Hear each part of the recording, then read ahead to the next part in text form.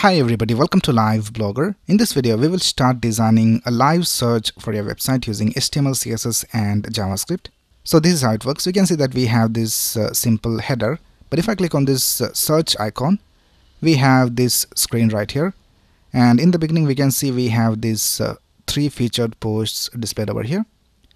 And you can go ahead and search for your articles of your website over here. So if I just search for, let's say T, then we can see that all the articles of T are displayed over here. If I just type the, then all the articles uh, which has a title in which the word the is uh, included is displayed over here. And then you can go ahead and click on any of these articles and open that post. Now if you go ahead and remove all these characters, then we can see that we have the featured posts displayed over here again. And if I just type something, we also have this uh, heading change to search results and if you remove all the text inside the search field, then we have this heading featured posts. So this is what we're going to design in this uh, tutorial series. Now in this first video, I'll show you how to design this using HTML and CSS. And in the next video, I'll show you how to add JavaScript to add all the functionality of the search. So let's get started.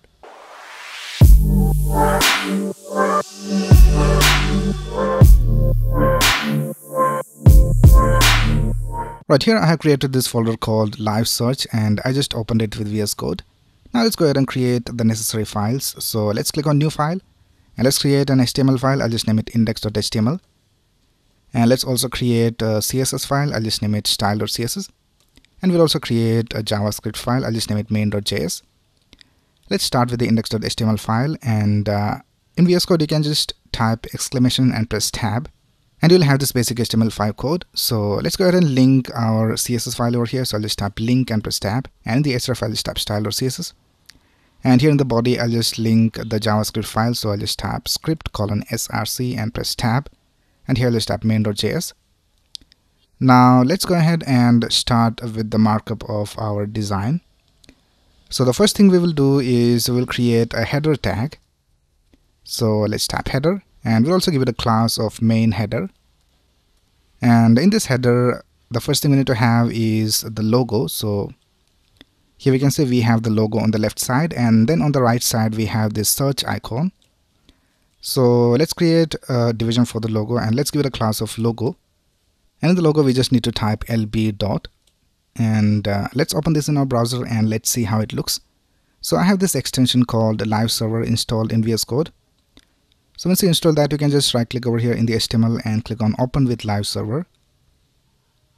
And here your website will be displayed in this browser. So here we have the logo displayed. Now let's go ahead and add the search icon.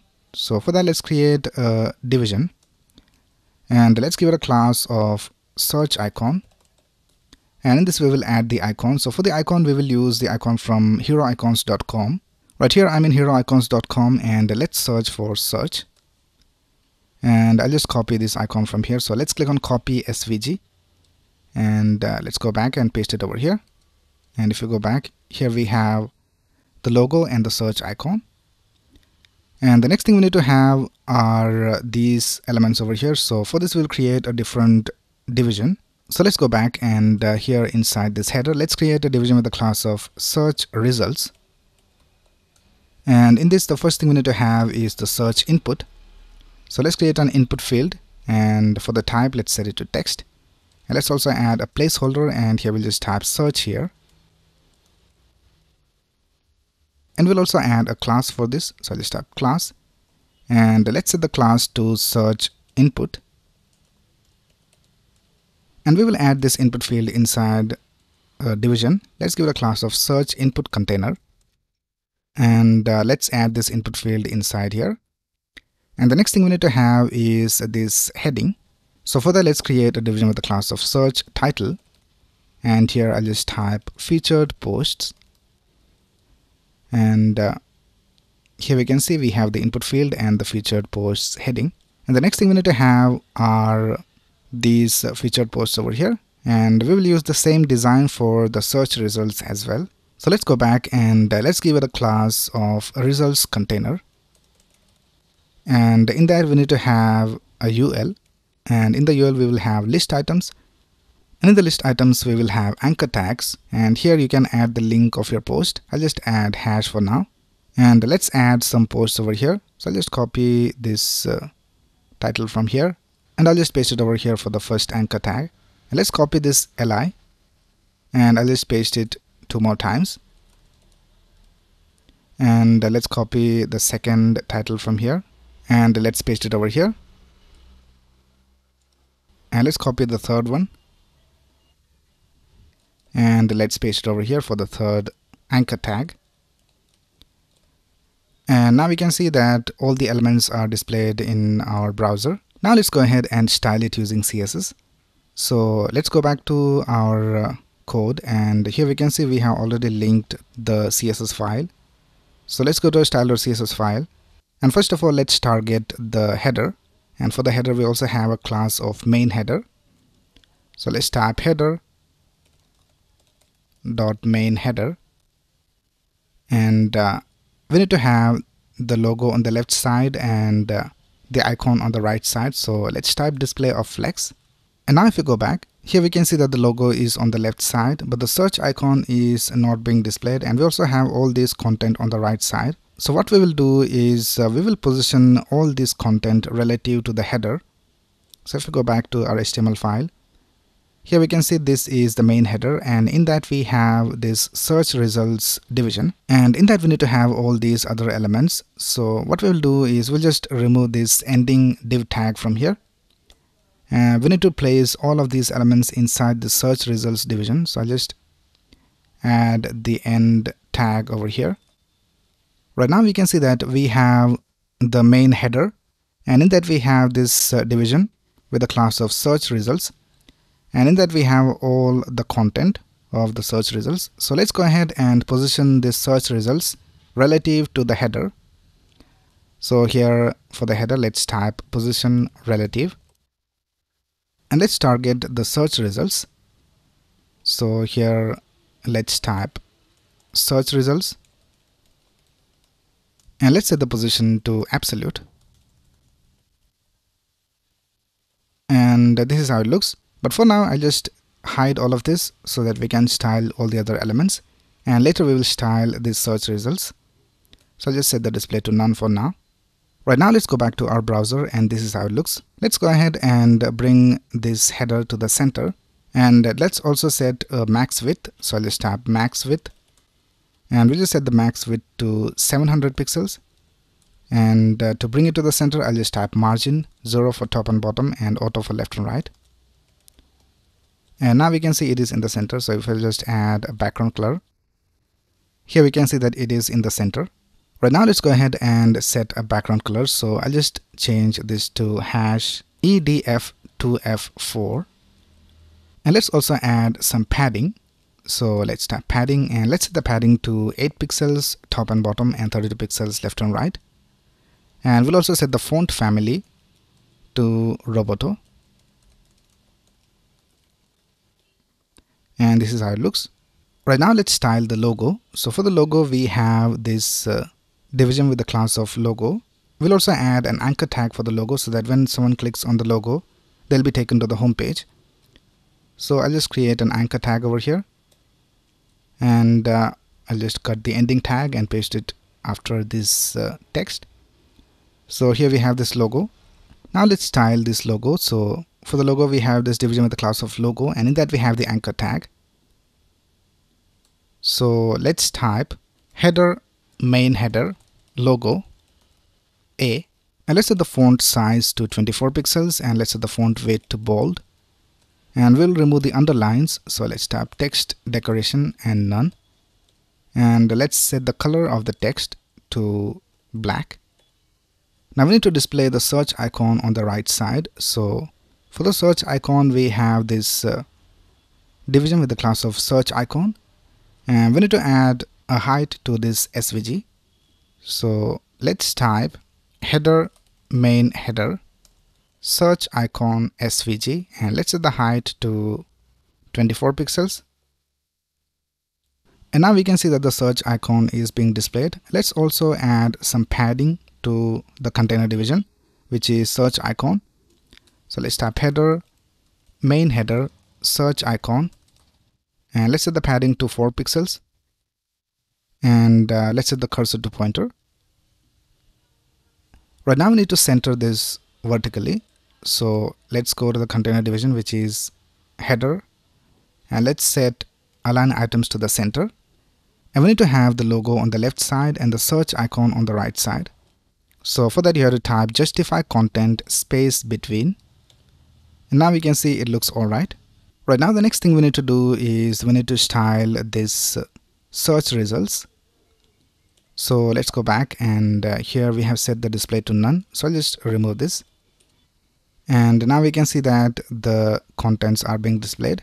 Now let's go ahead and set the top position to 52 pixels. And now we can see it starts exactly from the end of the header. Now let's add a background color. So I'll just copy the same background color from here. And I'll just paste it over here and we need to set the width to 100% so for that you have to type left 0 and right 0 Alright now let's add some padding. So let's tap padding and let's set the padding to 24 pixels top and bottom and 32 pixels left and right. Right now let's style this input field. So for the input field we have this uh, input with the class of search input so let's type search results search input.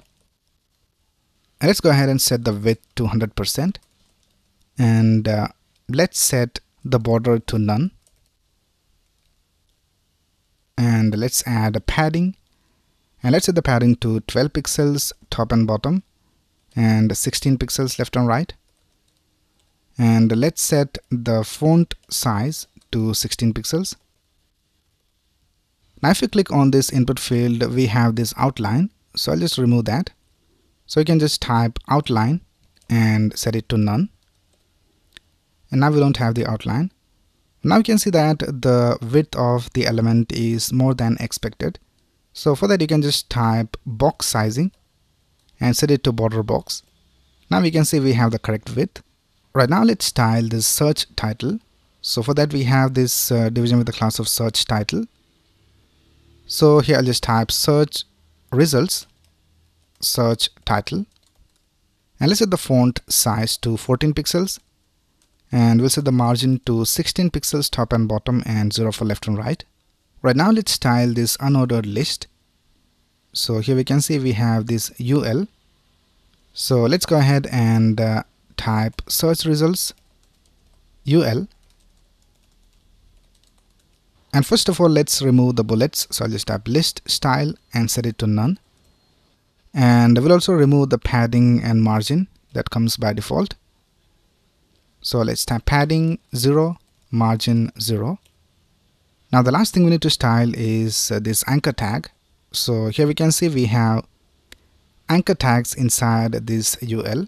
So let's go ahead and type search results ULA and the first thing we will do is we will remove the underline. So just tap text decoration none. And uh, let's set the font size. And let's set the font size to let's try 16 pixels. And uh, let's set the color of the text to 2b 2d 4 2 let's set the font weight to bold and we'll also add some padding. So let's tap padding and let's set it to 12 pixels.